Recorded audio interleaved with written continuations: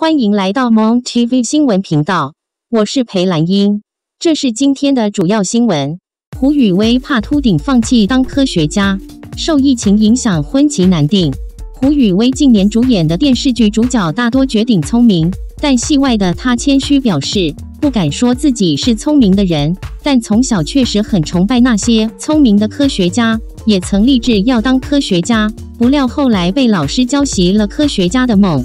胡宇威回忆，求学过程中曾遇见一位非常聪明、曾在 NASA 工作的老师，很有热情的想把所知所学教给学生。这位老师已经秃头，头发掉到只剩一小片，但他还是坚持要把这片头发拨到另一边，绕一圈。我们每次看他上课都无法专心，会忍不住一直盯着他的头发。有次一阵风吹过去，就真的把老师的头发吹开了。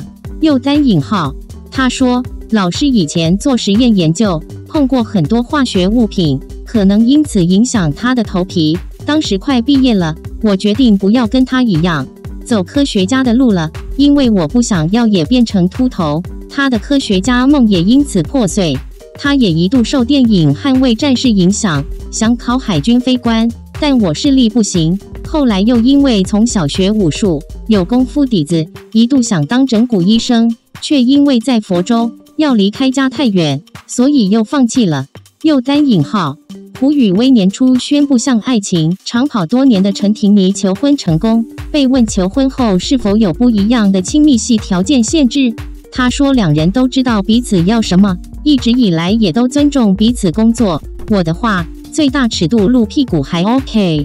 我们都是专注在作品上。如果是为了角色成立，让剧情有说服力，必须要有的画面都可以接受。虽然自己保守，不希望对方拍亲密戏，但还是要以专业角度相互尊重。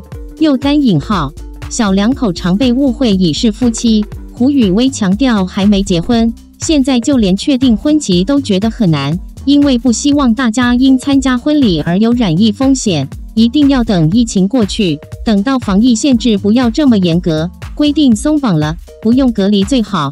因为他爸妈之前从纽约到台湾时已隔离过，不想再隔离一次，太痛苦了。他会等办婚宴时一起办结婚登记，接下来有空也会先规划婚礼。